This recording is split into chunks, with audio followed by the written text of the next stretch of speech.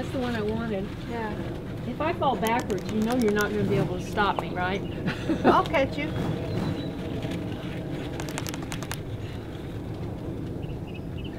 This is another short how-to video with Jacq Davis from Epic Yard Farm in Phoenix, Arizona. She is going to teach us how to air layer a fig tree because I am probably going to be moving and I don't want to leave my fig trees behind. So this is the best way to take a piece of my tree with me. Now this is the first time she's tried it. She's been taught how to do it. So we're both going to get our feet wet right now air layering a fig tree.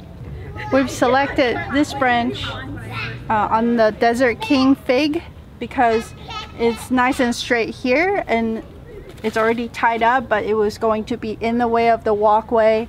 Uh, you pretty much want to select anything that you think you'll be pruning anyways because you'll have to remove the whole limb later on when you are done with the air layering. Because once it develops roots, we'll have to take off the whole branch anyways.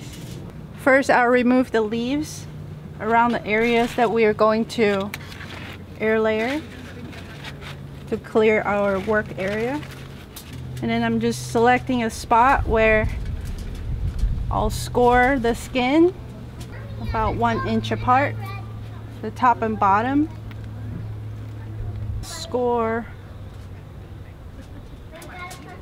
straight down.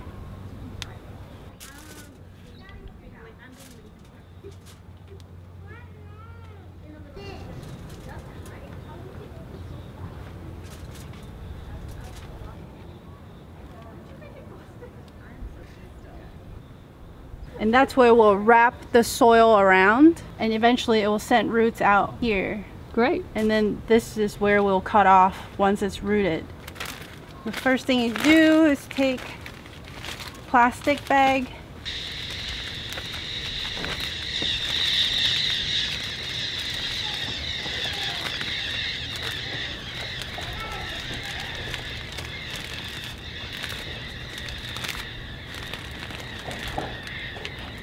I'm using a plastic bag to form a funnel shape to hold the soil.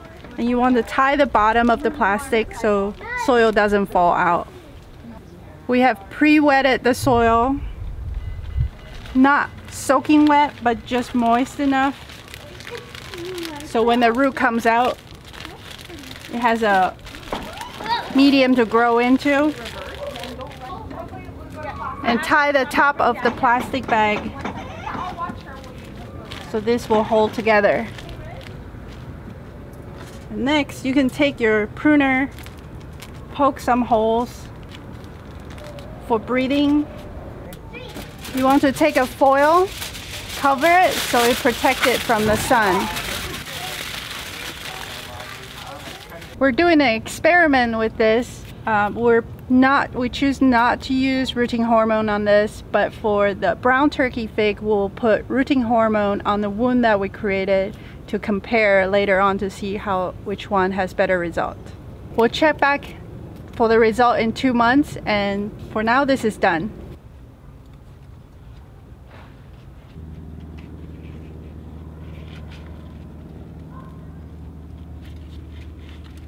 We're applying rooting hormone on this brown turkey fig branch where we cut the skin off.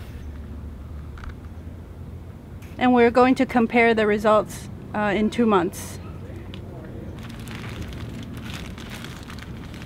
The bag holds in the moisture. Yes. And it kind of sweats and that's all the moisture it needs the whole time. Yes. You never have to water it. No, you, you don't water it. So that's why it's important to pre pre-moist the soil medium that you're using.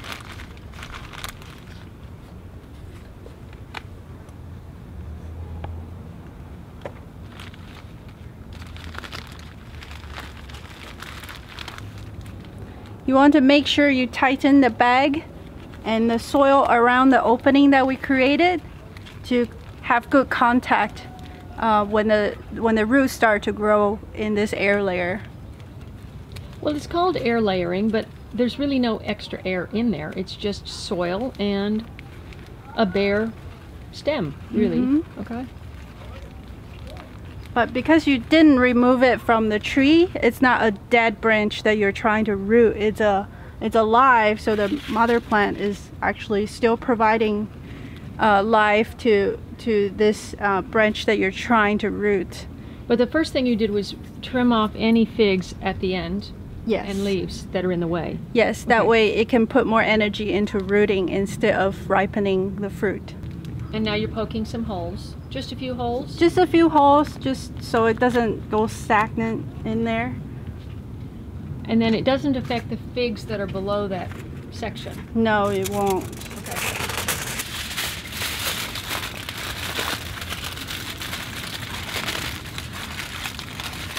The way we select the branch for air layering is to avoid the ones that is already dry and very aged. This look like a three to four year old branch. You can see how brittle and dry it is. It's less likely to root compared to the ones that is a little younger, maybe one to two year old branch that is more brown, has a little bit of green underneath. But you want enough plant material so you can have the root ball cut it when it's rooted and still have growth going on at the top. Like a mini tree. Yes. You want that, A little yeah. bonsai basically. Okay. Great. Well, looks like you found that. And we're done. Okay, we are getting ready for Jacq and Jeremy to hit the road, but I'm giving her a few things from the Late Bloomer Garden to take home for Epic Yard Farm 2.0. She's got sugar cane, which is the same sugar cane that she originally gave to me. I grew, and now it's going back to her new farm. She's got a few passion fruit, some, Some seeds. She dug up some of the cardamom, which is also a great house plant. So if it's too hot to be outside, she can put it inside.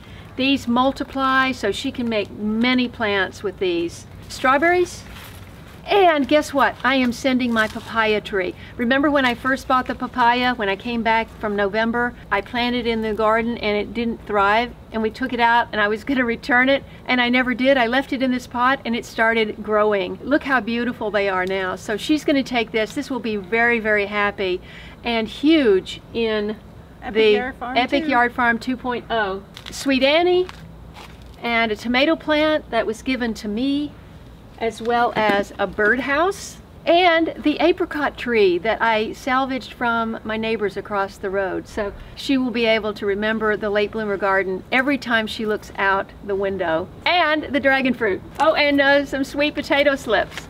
So she's going to be growing some sweet potatoes too. So I hope you enjoyed this series with Jacq. Please uh, give us a thumbs up and uh, tune in and look at all my Phoenix videos. And we look forward to seeing you in the next video. Thanks a lot.